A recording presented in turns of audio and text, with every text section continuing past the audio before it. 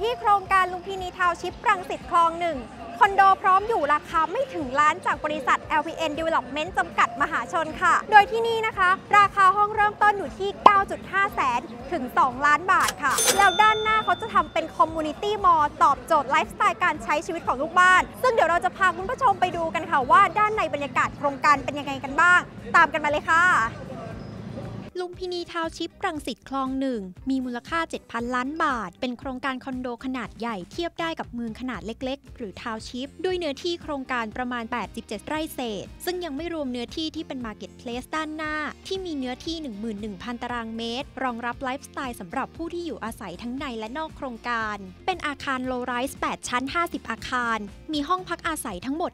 1074 ยูนิต พร้อมร้านค้าอีก 7 ยูนิต มีอาคารจอดรถและส่วนบริการสูง 8 ชั้นอีก 6 อาคาร และมีอาคารสันทนาการสูง 2 ชั้น 1 อาคาร โครงการอยู่ใกล้ฟิวเจอร์พาร์ครังสิต 1.5 กิโลเมตร โรงพยาบาลเปาโลเมโมเรียลรังสิต 1.5 กิโลเมตร ทางยกระดับอุตราภิมุข 1.6 กิโลเมตร และสนามบินดอนเมือง 10 กิโลเมตร นอกจากนี้โครงการยังสามารถเข้าออกได้ 2 ทาง ได้แก่ ทางเข้าด้านหน้าฝั่งถนนรังสิตนครนายก และด้านหลังถนนลำลูกกา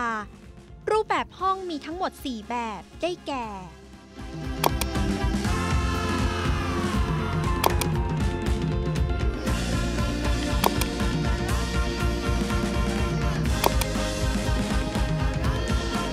สำหรับห้องตัวอย่างที่เราจะพาไปชมวันนี้ เป็นขนาด 21.5 ตารางเมตร ราคาเริ่มต้น 9.5 แสนบาทค่ะ ห้องนี้จะเป็นแบบสตูดิโอ เพดานสูง 2.4 เมตร โครงการนี้มีสิ่งอำนวยความสะดวกครบครัน ไม่ว่าจะเป็นสระว่ายน้ำระบบเกลือ ขนาด 12.5คูณ24 เมตร ลึก 1.3 เมตร ฟิตเนส ห้องสันทนาการ คิดรูม สนามฟุตซอล สนามบาส พื้นที่สีเขียวรวมทั้งโครงการกว่า 34,000 ตารางเมตร รวมทั้งมีรถบริการรับส่งลูกบ้านไปยังห้างสรรพสินค้าเมเจอร์รังสิตอีกด้วย ลุมพินีทาวชิปรังสิตคลองหนึ่งสร้างเสร็จและเริ่มโอนกรรมสิทธิ์ตั้งแต่ปี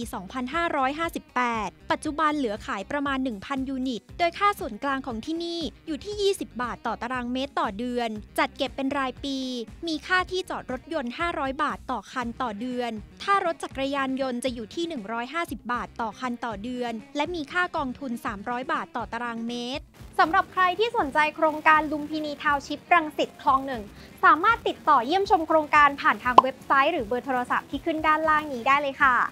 และครั้งหน้าเราจะพาไปเยี่ยมชมโครงการไหน อย่าลืมติดตามกันด้วยนะคะ